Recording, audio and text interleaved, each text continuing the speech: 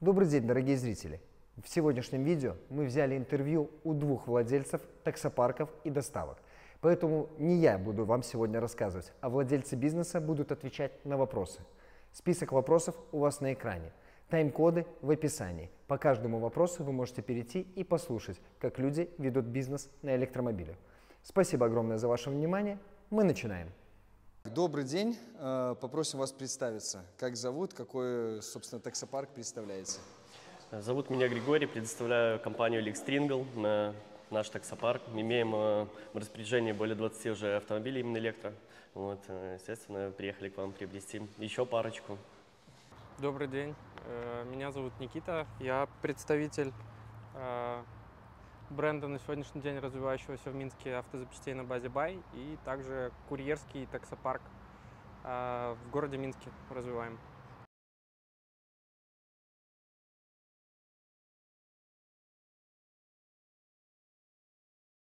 Ну, смотрите, на рынке мы уже с 2019 года именно по автомобилям такси. Э, Есть у нас и ДВС машины. Вот. ДВС машины нас полностью устраивали, все супер. До того, как э, пришли, соответственно, электроавтомобили, мы начали считать и смотреть, что электроавтомобили выходят ну, более выгодно и по обслуживанию, и по эксплуатации. Вот. То есть э, есть э, большинство Ряд преимуществ. преимуществ. Ряд преимуществ по сравнению с ДВС машиной, да. Хорошо, а какие тогда недостатки? Что все-таки тормозит весь там парк не поменять на электромобиле?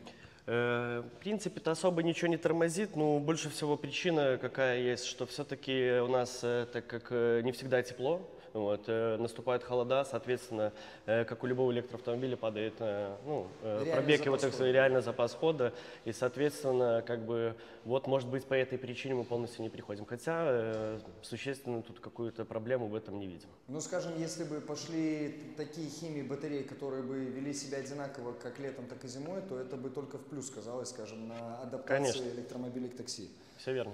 Есть ряд преимуществ, и на всей математике прямо, ну, расходник намного меньше, и это приятнее. Конечно, с учетом того, что сейчас еще Маланка поощряет э, большие объемы э, киловатт, расхода киловатт. э, А можно вот за это поподробнее? Потому что мало юрлиц вообще об этом на самом деле знают. Э, При достижении определенного оборота по киловаттам, по затратам киловатт в месяц, э, на следующий день юрлицу присваивается скидка э, до 15%. То есть э, мы сейчас вот дошли до скидки в 10%. Э, Ну, как, как только запустится там еще 7 машин, то я думаю, что мы до 15 доковыляем, потому что ну, 15% на объеме это очень, очень важно. Экономичность с машины двигателя внутреннего сгорания, отличие по расходам составляет примерно там, ну, на- на 30-40% дешевле содержать электромобиль, чем э, машину с э, бензином или дизелем. Нет, э, есть, конечно, дешевле э, ДВСки. Есть дешевле, но вопрос же в качестве этой ДВС, э, машины с ДВСом, потому что основная проблема это, э, наверное, количество расходов на нее э, на 100 километров. Это первое. Второе это вот эти э, техническое обслуживание раз в 10 тысяч. То есть масла, фильтра, цепи, там, все что угодно туда относится. Также туда же относятся колодки, тормозные диски. все это изнашивается гораздо, гораздо чаще, гораздо быстрее, чем э, на машине с электрическим двигателем. Ну, то есть электромобиль даже об- обходится дешевле изначально, Да. еще да. и дешевле обслуживать, еще и у вас бонусы за тариф и так далее. Да, сто процентов.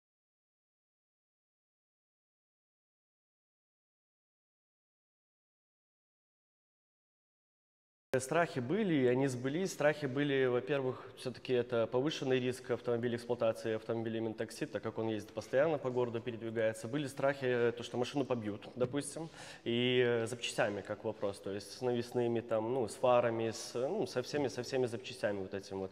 Столкнулись, был у нас уже такой инцидент, побили машину, соответственно. Ну, как правило, практика показала, запчастями вопросов никаких нету, все можно приобрести, э, на крайняк, на край, так скажем, доставить э, с Китая, из Китая привезти. Вот. Ну, самая большая проблема это только запчасти. То есть, кроме запчастей, наверное, больше нас ничего не волнует. Ну и как, этот вопрос закрыли запчастями? Да, на сегодняшний день закрыли,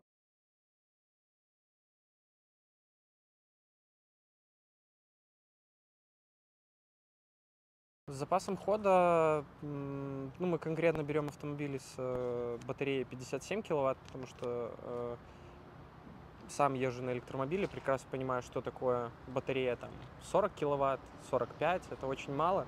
И как раз-таки вот эти сверх там 17-12 киловатт, да, дают комфорт, потому что человеку для смены, в принципе, э, этой батареи хватает, если даже не на всю смену, то там на 70% откататься. Э, Дальше он там зарядился за 20-30 минут, поехал дальше. С учетом э, всех этих как бы, потребностей, ЦИН достаточно идеально вписывается в, в нашу картинку бизнеса, которую пытаемся сейчас построить. То есть в целом вы для себя выявили, что там 65-70 киловатт-час можно автомобили рассматривать в бизнес, это комфортно для использования, потому что у человека есть смена, э, когда-то он все равно же там справляет свою физиологическую нужду, он покупает воду, где-то есть, он, соответственно, остановился у магазина, поставил машину на зарядку, потратил 20-30 минут на свои моменты, и, по сути, у него как бы рабочий день идет без перерыва на зарядку.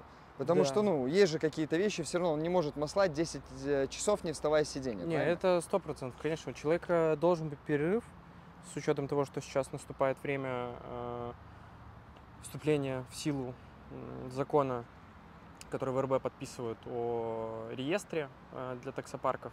То есть это такая штука, которая будет как раз-таки регламентировать э, режим труда и отдыха для сотрудника.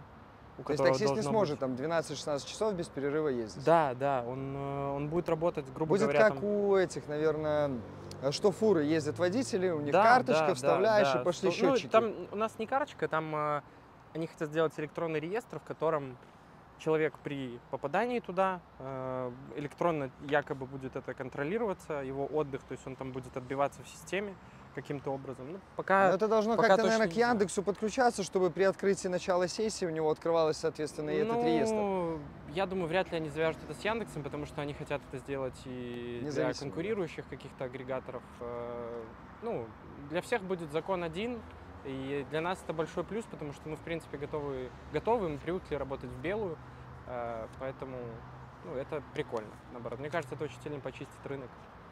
Хорошо, а таксисты не жалуются на то, что маленький запас хода? Нет, нет. Именно Нету. на цинах, на цинах не...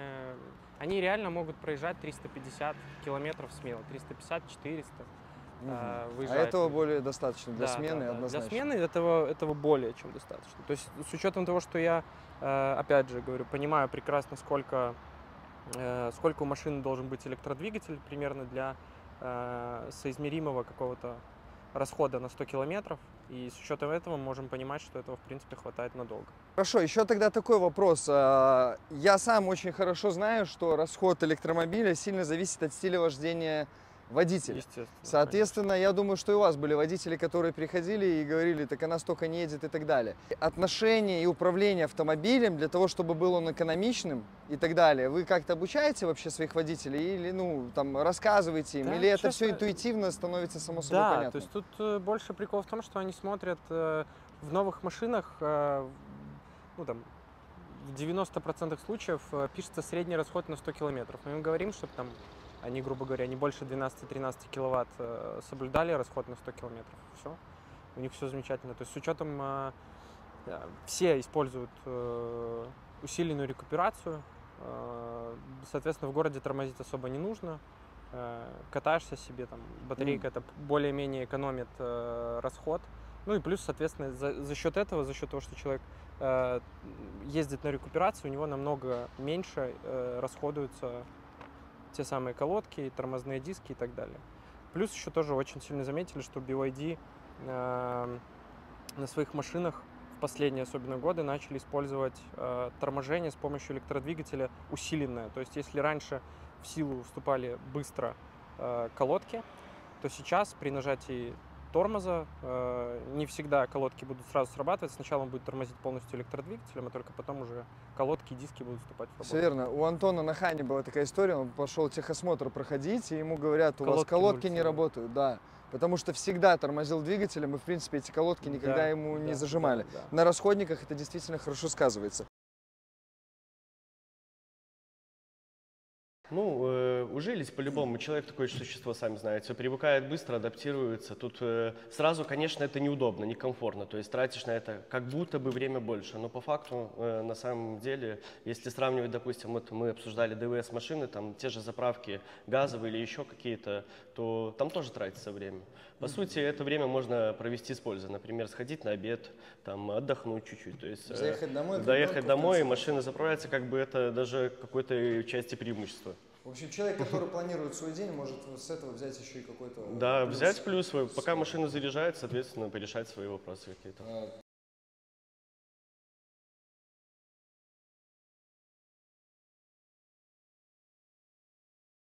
Но сейчас, если мы берем именно, то есть как э, вид топлива, то есть электрический и газ, допустим, да, то на первом месте сейчас по моим подсчетам и наблюдениям, то есть все-таки идет метан. Вот. э, Если мы сюда добавляем, что все-таки это метановая машина на ДВС, да, ее обслуживать надо, соответственно, и оборудование туда это поставить, потому что большинство машин, они далеко не идут с газовым оборудованием, уже установлены, то тут как бы выигрывает уже электричество. Вот. Если заряжать электрический автомобиль, ну, эксплуатировать его не в коммерческой, не коммерческой деятельности, а для личных ну, целей, там, на работу ездите, и у вас есть дома зарядка, так сказать, частный дом, то это вообще еще дешевле, чем метан. То есть Плюс-минус один к одному, может быть, чуть-чуть дешевле. Там, опять же, мы сравниваем, э, что и там, и там человек заряжается в черте города, то есть не дома.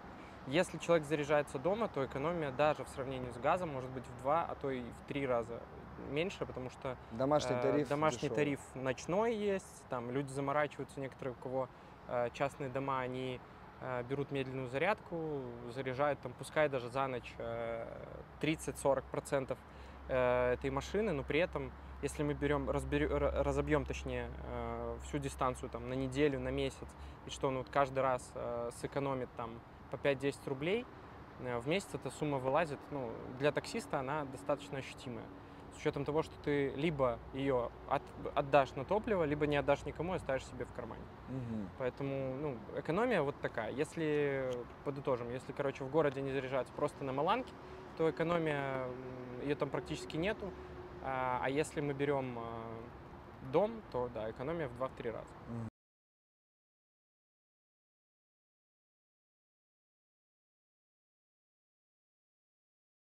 Мы э, заказали себе самые часто бьющиеся кузовные запчасти, э, там в том числе и лобовые стекла, для того, чтобы в случае ДТП мы могли быть подстрахованы. У нас машина не простояла там 2-3 месяца э, в тот момент, когда будут ехать запчасти. То есть машина попала в ДТП, отремонтировали там в течение двух недель и поехала дальше. А есть это один как- из самых адекватных. Какой вариантов. бюджет пришлось затратить на запчасти, вот заморозить, чтобы они лежали здесь, чтобы быстро и оперативно реагировать на какие-либо поломки? Ну, в районе 15 тысяч. Вот 15 всё тысяч долларов. То есть, Да. а простой, например, месяц ожидания запчасти одной машины, сколько обходится таксопарку плюс-минус? В районе тысячи долларов. Ну, то есть, понятно, да. На объеме имеет смысл иметь свои запчасти, чтобы да, да, машины 100%. постоянно бесперебойно двигались и приносили деньги. э, Ну, смотрите, вопросы... для бизнеса же получается очень неудобно, когда запчастей нету в наличии, да? Вот Неудобно, Машина да. должна же работать, у вас Неудобно. стоит актив. А, Соответственно, на сегодняшний день насколько есть запчасти в доступе на рынке РБ? Вот Я так. бы сказал, что есть все практически запчасти в доступе э, на РБ, прям по наличию. Прямо сейчас тут э, э, сам ценник э, очень э, Кусается. э, кусается, да. То есть э, где-то лучше подождать, наверное, чтобы запчасти пришли, нежели покупать здесь. А что-то уже закупаете впрок? Э, в смысле? Запчасти, например, там фары, кузовщину, лобовые. В запас? Про Да, запас? в запас, Нет, не, не покупаем. не покупаем. Не покупаем, только по факту. Тут невозможно предугадать, что необходимо, а держать э, что-то в наличии, то есть э, морозить свои средства, ну, нет э, никакой необходимости. Понятно. В Цине в одном, э, который мы пригоняли с пробегом, на 80 тысячах там у нас сейчас проблема с... э, Ну, не то, что проблема, вроде бы как это устранили, но иногда может появляться ошибка. Проблема с э, рекуперацией, то есть там э, колодки включаются настолько сильно, что машина аж начинает дергать, есть слишком резкое торможение. Вот. Э, Но опять же, вроде бы это Это, починили. наверное, контроллер, плату поменяли, да? Или Вообще ничего не меняли, просто Ничего. удалили все ошибки и вроде Ага. машина катается. В общем, ну, в целом, глобально они без болячек. Ну, пока да, но опять же, мы не можем судить э, так быстро, потому что для машины, которая проехала там условно полгода, выяснить все проблемы, которые начнут вылазить, еще нереально. Знаем, что в одной машине еще э, тоже бэушный э, редуктор подходит к своему логическому завершению. Э, ну вот сейчас с этим что-то будем думать, как его ремонтировать, потому что ну, на новых машинах вообще ничего не меняли, вообще ничего не делали. А сколько самый большой пробег у самой старой машинки, которая у вас есть? Ой, наверное, в районе 100 тысяч уже где-то. 100 тысяч. И, в Да. принципе, там не менялось ничего. Не, Так- не, в, в старых машинах, которые мы, э, в которых по 100 тысяч, там уже поменяли э, рычаги в круг, поменяли шаровые в круг, э, задние плавающие рычаги тоже поменяли, э, саморегулирующиеся рычаги поменяли, э, ступичные, ступицы в сборе тоже должны вот-вот поменять, потому что там водители жаловались. Ну а так в целом, наверное, больше ничего. Ну, в общем, на самом деле все элементы, которые подносятся, поддаются износу, у них есть э, свои там временные Да. рамки и так да, далее. ну и то в принципе, даже, все очень логично. мы просто даже не бил- покупали, а восстанавливали. То есть, э, ну, э, на сегодняшний день, а, ну, мы так э, думали, сейчас немножко поменялось мнение. Мы думали, что восстановить запчасть гораздо дешевле, чем привезти ее из Китая. А, ну, как-то все равно. Короче, сейчас э, вроде бы нашли рычаги подешевле, и по итогу проще уже все-таки заказать из Китая. Да, но если так подытожить, то на самом деле получается для вас, как для бизнеса, прямо на рынке в свободном доступе всех запчастей, вот возьми, не хочу, по вменяемой цене просто нету. Приходится самим этим запариваться, Да, правильно? Да, да, да. да. То есть никто не создал никакого склада где-то большого, где вы знаете, что на вашу машину все есть, и вы не паритесь. Да, да. Либо если есть, то цены, наверное, сейчас просто ну, крутят большие. Да. Мы сейчас э, э, нашли там по гораздо ниже цене, с учетом доставки и всего остального. Я понимаю, естественно, что мы не будем у тех, кто привез это для реализации. Я понимаю, что э, ну, как бы у них своя идея для того, чтобы заработать. У меня, к сожалению, идея для того, чтобы не а Минимизировать максимально Да, да, затраты, да. чтобы больше зарабатывать. Потому что, Да. я так понимаю, бизнес такой, что все попадает, э, грубо говоря, на баланс, а дальше пошли расходы, расходы, расходы, расходы. Да, и каждую, чем... каждую мелочь ты пытаешься сэкономить, а не увеличить затраты.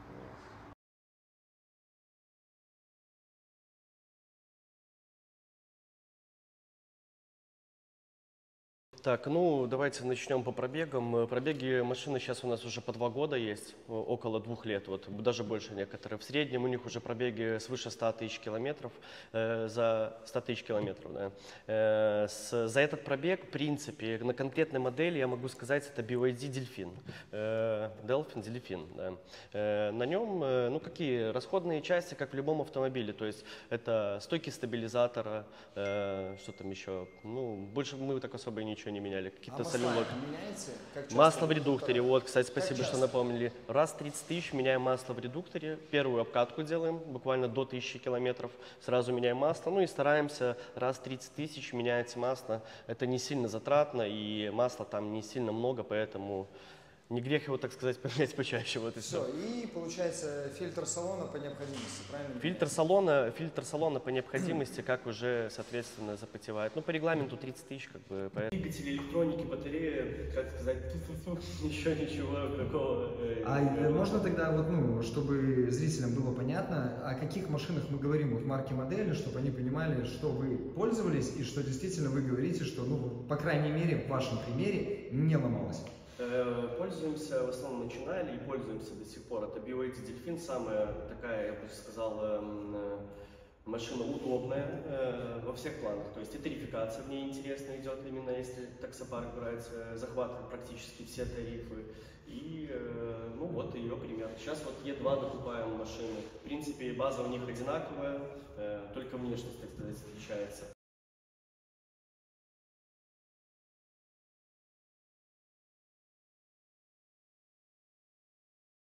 Если э, там года три назад мы возьмем, все очень, очень сильно боялись. Сейчас все больше и больше и больше начинают задавать вопросов. Э, Даже при том, что я не занимаюсь продажей, но меня спрашивают, какую электричку купить, какая прикольная. Потому что э, ну, сам я начал ездить на электромобилях уже где-то лет пять назад. Э, Ну, конечно, тяжело пересесть с, с, электром... с электротяги на ДВС очень тяжело пересесть, потому что, во-первых, динамика а, плохая. при любом раскладе на ДВС, если это там не Ну, как минимум коробка передач постоянно Да, да, да. переключается, а То у есть тебя дыхание тут вот это, да. А линейное ты ускорение, в общем. По прямой у тебя ты не чувствуешь ничего, просто плавный разгон, либо резкий разгон. Первоначально, когда только появлялись электроавтомобили, э, не все их понимали, но когда сталкивались именно с электромобилями, уже проездили на них э, клиенты и водители дают такие отзывы. То есть всегда приятно, что приезжает в принципе новая машина, потому что электрички как бы они не распространены еще, так скажем, у нас особо. Есть, Это первый есть маленькая ремарка просто, что электромобили из Китая экспортируются за вычетом э, налогов, Да. если новая. А если БУ, то все, налоги не вычитаются. Да, да, да. Поэтому новую машину просто бизнесу даже дешевле вести, Да, чем да, бэушную. Да. Поэтому все машины у нас действительно Ну, мы тут новые. говорим про клиента, как бы именно пользователя как водителя, то есть клиент, кто на ней ездит. Вот. э, э, Плюс многие еще ездят, заказывая электротариф э, в часы пик. Очень удобно добираться, допустим, в часы пик с точки А в точку Б, потому Автобусный что поезд. есть пока нам разрешает только единственная страна, которую я знаю, хоть разрешила ездить по автобусной полосе. То есть это преимущество. И кто вот уже знают пользователи именно как кто ну, передвигается на такси, вот часто используют эту фишку, так Мгм. сказать. Вот это даже... И второй момент, что, опять же, что новые автомобили в основном приезжают. То есть, заказ- заказав электротариф, ты понимаешь, что к тебе приедет, ну, свежая машина достаточно. М.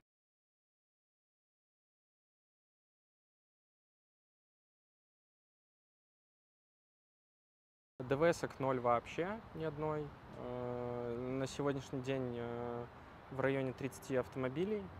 Э, все электромобили, Да, все BYD электромобили. Нет, не все цены. У нас есть вольтмейстера, у нас есть один Dongfeng, есть Volkswagen э, Yellow Vida. Э, Ну, в общем-то, на, на фоне всех этих автомобилей цены пока это прям самый сок. То есть лучше, э, лучше машины для такси для себя я не нашел. Рассматривали много чего. И BYD E2, э, и дельфинов. Э, Да в ну, целом же и я вот э, Netу X предлагал, но так как я понимаю, бизнес э, проще на одной модели завязать, да, чем тут и- иметь вот этот тут- вот зоопарк. Тут еще смысл, да, конечно, в том, чтобы пригнать там условно э, по 10, 15, 20 позиций э, на как бы там колодки, диски, э, рычаги, я не знаю, двери, и чтобы все это было на одну машину, потому что когда начинаешь распыляться, э, ну, очень не хочется морозить э, большое количество денег, это проблема самая большая, потому что... ну, да и в принципе день две машины нету. стало, с двух собрали одну, одна Да, поехала, одна да, стоит. да, как бы, да, ну, да. даже такие базовые вещи для бизнеса. В общем, гибкость. Выбирается гибкость, чтобы спокойно заниматься Да, и чтоб не меньше- распыляться меньше на было все геморроя на всю эту историю, да. Сейчас концепция такая, они вообще не покупают ДВС-машин, то есть, которые есть ДВС-машины, мы их просто докатываем, вот, э, и приобретаем только электромобили. Мгм. вот, э, там будет видно, пока... Вопрос тогда такие. сразу, почему принято такое решение? Какие Почему вот ключевые факторы на этом Ключевые сказались? факторы эм, обслуживание машины, цена, в принципе, ее, это что мы обсуждали, там, э, дельфины и Е2. Ну и самый большой фактор это обслуживание таки автомобиля.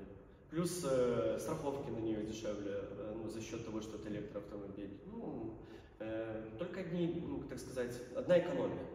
Особенно в долгосроке. долгосроке, То есть да. для тех, кто играет, грубо говоря, не фирмы однодневки и так далее, то в принципе в эксплуатацию юрлицам брать в долгосрок это всегда победа. Да, это по-любому. идеально. Это, пока что это идеальный вариант. Особенно, ну, учитывая, здесь же какие факторы. В Китае субсидируется это все, у нас субсидируется. То есть мы нигде никому из государств не платим. Это прям, ну, золотая жила. Да, супер. Производитель государства ничего не зарабатывает, потребитель государства ничего не зарабатывает. То есть, как бы, и окошко не такое большое осталось. Да, да. Вот э, странно, что уже хочется с рупором ходить по улицам и орать, типа, люди, покупайте просто электромобили, все, просто покупайте, они сейчас Да, дешевые. пока что. Дешевле они не будут, все, это сто процентов. Хорошо, э, такой вопрос. Э, Точнее, не вопрос, кому бы могли дать рекомендацию из юрлиц обратить внимание на электромобили себе вот в работу, э, кому это может быть выгодно, по вашему вот уже мнению, когда, как вы ими пользуетесь? И опять же, сколько уже пользуетесь электромобилями суммарно? Уже пять лет. Пять лет. Конкретно для бизнеса используем полтора, где-то два года. Ну, прям мы не берем там в разрезе одной-двух машин, вот именно берем хотя бы 10.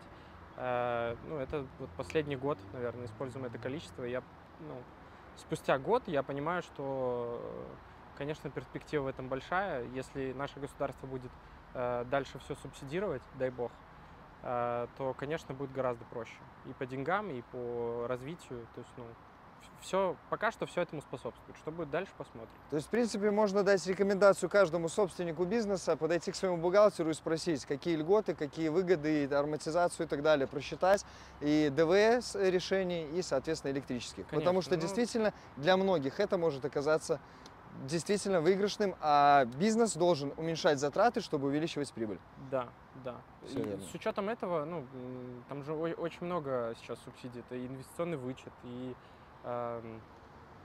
тот же НДС на автомобили, которые ты привозишь и не уплачиваешь э, НДС, поскольку его нету. Ну, короче, там Короче, пошлина, много. НДС, и Да, это опять же, даже если доля. покупку с НДС, то можно использовать налоговый вычет тогда, в этом случае, Да. то есть для юрлиц. В любом случае, подходите к своим бухгалтерам, задавайте вопросы. Электротакси. Да что сказать, в принципе, мы все обсудили, так сказать, по интервью. Вот, э, что хочу сказать, что не бойтесь, в принципе, приобретать электроавтомобили. Посоветовал бы тот, кто еще не приобрел и задумывается, допустим, о покупке электроавтомобиля, начать с минимального, хотя бы прийти вот в компанию Электрокарс, взять машину на, на тест-драйв, то есть посмотреть, пощупать ее так изнутри, э, ну и уже как бы самим принять решение. А если вы хотите действительно понять, что такое электромобиль и не слушать продавцов, возьмите его в аренду, как вам советует наш партнер. Аренда электромобилей доступна у нас на сайте. Сейчас вы видите это на экране. Переходите, ссылка в описании. А, Хорошо, смотрите, если кто-то из наших зрителей, например, хотел бы поработать на электроавто, какие-то контакты оставите? Да, конечно. Мало ли, чтобы вы понимали, куда обратиться, действительно, ну, потому что ж э, немало людей у нас занимается доставкой такси, и если они хотят попробовать электромобиль, поработать на нем, может, себе рассматривают, они, грубо говоря, могут воспользоваться, Да, да. связаться с вами. Без проблем, если не трудно, вы просто, значит, там э, по своим видео закрепе, так сказать, или где можете оставить наш официальный сайт, номер телефона, можно зайти на наш сайт, изучить наш продукт, Все, тогда э, связаться с нами, приехать на офис к нам поговорить, то есть без проблем. все отлично. Тогда все данные оставляем в описании. Спасибо вам огромное за уделенное время. И вам спасибо. До свидания. До свидания. Если вам было интересно, ставьте лайки, подписывайтесь и пишите комментарии. Для нас ваша активность будет полезна. Если есть какие-то другие вопросы, которые вы хотели бы задать, пишите тоже в комментарии, потому что также будем общаться с другими нашими партнерами, а также будем общаться с клиентами и водителями, которые работают на коммерческом транспорте. Огромное спасибо за ваше внимание. С вами были электрокар.бай, Ян Шарапов. До скорых встреч!